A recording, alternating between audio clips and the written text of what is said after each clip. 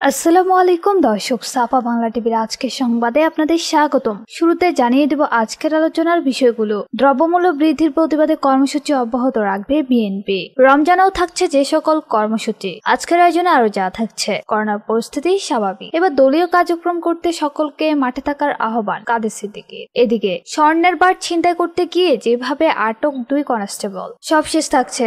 রাশিয়ার তেল কেনা নিষেধাজ্ঞা লঙ্ঘন নয়। ইতিহাস নয়াদিল্লিকে ভুল স্থানে নিয়ে যাবে। ভারতকে আমেরিকার হুঁশিয়ারি। পুরো প্রতিবেদনটি জানতে ভিডিওটি শেষ পর্যন্ত দেখুন। আমাদের চ্যানেলের সকল আপডেট সবার আগে পেতে চ্যানেলটি সাবস্ক্রাইব করে রাখুন। এবার বিস্তারিত। নিত্য পণ্যের উদ্যোগতির প্রতিবাদে কর্মসূচি অব্যাহত রাখবে বিএনপি। দলটির জাতীয় স্থায়ী কমিটির সভায় এই সিদ্ধান্ত হয়েছে। মঙ্গলবার রাত আটটায় এই সভা অনুষ্ঠিত হয়। ভার্চুয়াল সভায় সভাপতিত্ব করেন বিএনপির ভারপ্রাপ্ত চেয়ারম্যান তারেক রহমান। চাল, তেল পেঁয়াজ সহ নিত্য পণ্যের দাম এখন আকাশ আকাশচুম্বী। ক্রয় ক্ষমতার বাইরে হওয়ায় ভোক্তাদের নার্বিশ্বাস। জনগণের এই ক্ষোভ কাজে লাগাতে চায় বিএনপি।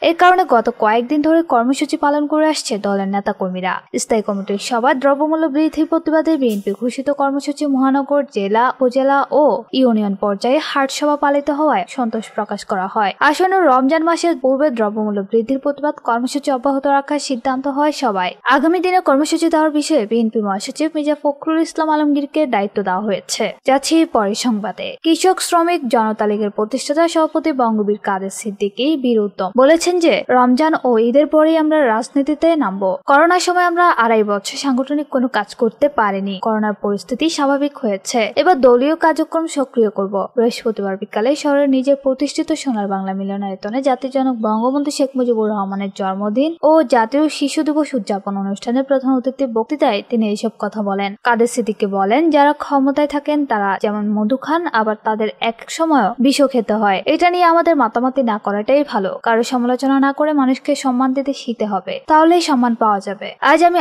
লীগকে কিছু বলতে আসিনি, বলতে চাইও না। তিনি বলেন, মানুষের মৃত্যু যেমন অবধারিত সরকার থেকে একদিন চলে যেতে হবে, সেটাও অবধারিত। মানুষকে কিছু দিতে না পারলেও অন্তত সম্মান দিতে হবে। তাহলেই মানুষ খুশি হবে। তবে মানুষের সঙ্গে ভালো ব্যবহার, সেটা দেখানোর জন্য নয়, নাটক করার জন্য নয়। কাদের সিদ্দিকি বলেন, গত নির্বাচনের সময় আমাদের কয়েকশো কর্মীর উপর মিথ্যা মামলা দেওয়া হয়েছিল। কয়েকজন গ্রেপ্তারও হয়েছিলেন। আমার একজন কর্মী গ্রেপ্তারকৃতদের ছাড়াতে আপ্রাণ চেষ্টা চালিয়েছেন। যেভাবে হোক কর্মীদের শ্রমে আমি অভিভূত। এরকম একটি কর্মী, একটি দল থাকলে সে দলকে কেউ থামিয়ে রাখতে পারে না। কর্মীদের উদ্দেশ্যে তিনি বলেন, যতটুকু কাজ করবে, গুরুত্ব দিয়ে করবে। আমি টাকা পয়সা উপার্জনের জন্য রাজনীতি করি না। আমি নেতা হওয়ার জন্য রাজনীতি করি না। আমি বঙ্গবন্ধুর আদর্শ লালন করার জন্য রাজনীতি করি। যাচ্ছি পরের সংবাদে। রাজধানী কেরানীগঞ্জে স্বর্ণের বা ছিনতাইকালে পুলিশের দুই সদস্যকে স্থানীয়রা আটক করে পুলিশের কাছে শপথ করেছে। শুক্রবার সকালে কালীগঞ্জ খাজা সুপার মার্কেটের সামনে এই ঘটনা ঘটে। আটককৃতরা হলো কনস্টেবল সোহেল রানা ও কনস্টেবল দাওয়ান রুবেল। এই সময় তাদের কাছ থেকে ছিনতাই করা এগারোটি স্বর্ণের বার ও ডিবি পুলিশের স্টিকার লাগানো একটি মাইক্রোবাস জব্দ করা হয়। কনস্টেবল সোহেল রানা ও দাওয়ান রুবেল ডিএমপিতে কর্মরত।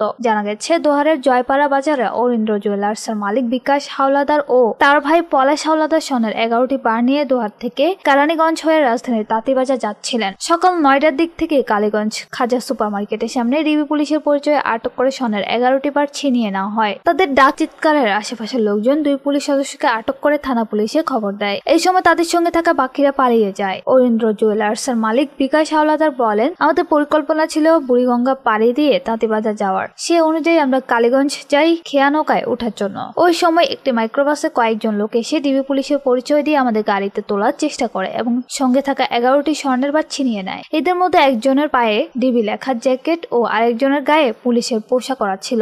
আমাদের চিৎকারে আশেপাশের লোকজন এই দুজনকে আটক করে বাকিরা পালিয়ে যায়। দক্ষিণ কেরানীগঞ্জ থানা ভারপ্রাপ্ত কর্মকর্তা ওসি আবুল কালাম আজাদ বলেন স্বর্ণের বার ছিনতাইয়ের ঘটনায় আটক দুই কনস্টেবল সহ কয়েকজনের বিরুদ্ধে মামলা হয়েছে। এই ঘটনায় জড়িতদের বিরুদ্ধে আইনগত ব্যবস্থা নেওয়া হচ্ছে। যাচ্ছি পরের সংবাদে।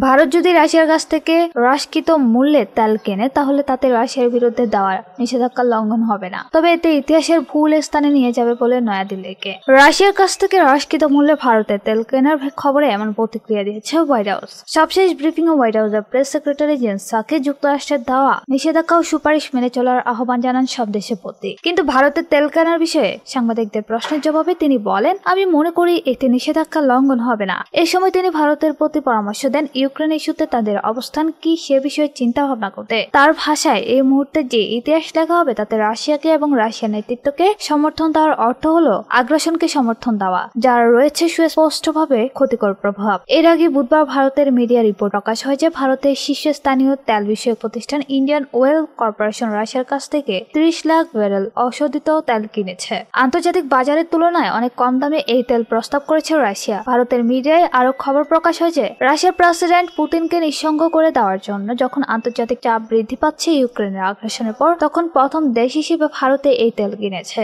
বিশ্বের তৃতীয় বৃহত্তর তেলের ক্রেতা ও আমদানিকারক ভারত। চাহিদা শতকরা আশি ভাগ তেলই তারা আমদানি করে। এর মধ্যে শতকরা মাত্র দু থেকে তিন ভাগ তেল কেনে তারা রাশিয়ার কাছ থেকে। রাশিয়ার কাছ থেকে তেল কেনার খবরে মার্কিন মিডিয়াগুলো উল্লেখ করেছে যে, এখনও রাশিয়ার আগ্রাসনের নিন্দা জানায়নি ভারত, এমনকি তারা এই আগ্রাসনের বিরুদ্ধে জাতিসংঘের সাধারণ পরিষদে আনিত নিন্দা প্রস্তাবে ভোট দেওয়া থেকে বিরত থাকে। চব্বিশে ফেব্রুয়ারি থেকে যুক্তরাষ্ট্রের বেশ কিছু কর্মকর্তা রাশিয়া থেকে দূরত্ব বজায় রাখতে ভারতের প্রতি অনুরোধ করেন। তারা জানেন মস্কোর উপর ভারত খুব বেশি নির্ভরশীল। তাদের প্রধান অস্ত্রের সরবরাহকারী হলো রাশিয়া। এর মধ্যে আছে ছোট অস্ত্র। ওলা বারুদ থেকে শুরু করে ক্ষেপণাস্ত্র ও যুদ্ধ বিমান পর্যন্ত। দর্শক, এতক্ষণ সাথে থাকার জন্য ধন্যবাদ। আমাদের পরবর্তী সংবাদ দেখার আমন্ত্রণ রইল। আল্লাহ হাফেজ।